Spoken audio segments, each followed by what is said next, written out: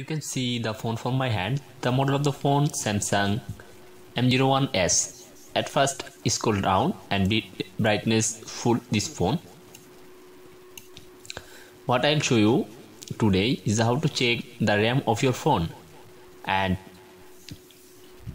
show full information on this phone. This phone model is Samsung M017F Plus DS.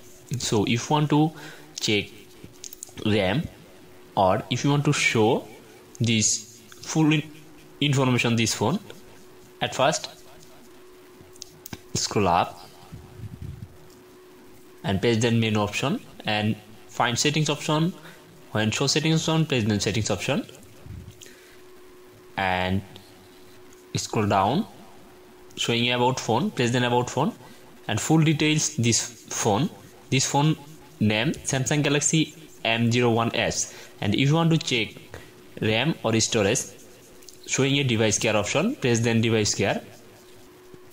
And i will show you how many gb storage this phone. So press then storage.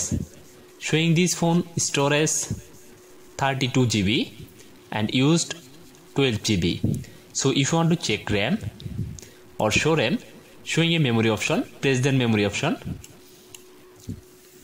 I have to do it fast. And showing this phone RAM 3 GB used 1.9 GB so if you want to check RAM